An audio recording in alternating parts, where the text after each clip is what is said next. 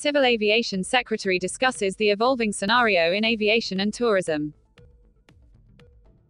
The pre-COVID normal was about 3.7 to about 3.75 lakhs. So if out of 3.7 lakhs, 2.5 lakh people are traveling, we are almost touching 65% of the normal. And the, the good part is that this figure has been gradually increasing. Maybe in about two, three months, we may be near 80 to 90% of normal. So domestic aviation would have come to normal. This new normal is bound to stay. Now people will not go into go back into the paper-based system of travel and all. Second thing is the business travel is bound to reduce. Business travel will be of a different type.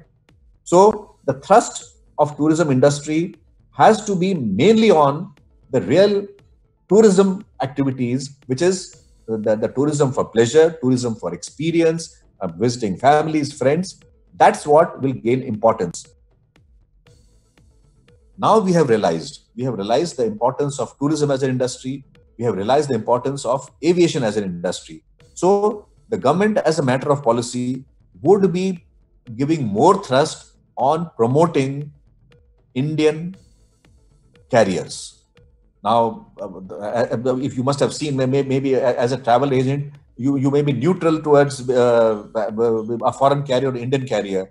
But let me tell you that if these want have to become engines of economic growth, that economic growth can happen only when, for the traveling fraternity, we use Indian carriers. So, as a, as a, as a matter of, matter of policy, we would be promoting more and more Indian carriers, and we have reached a stage uh, where where Indian carriers have become uh, strong, large, and vibrant enough to compete in, in, in the in, in, the international market.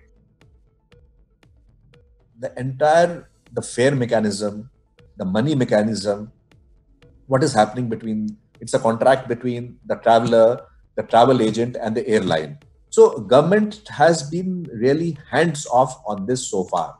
It's a free market between all these. I'm open to all suggestions see the government intervening with regulations and all it has positives it has negatives.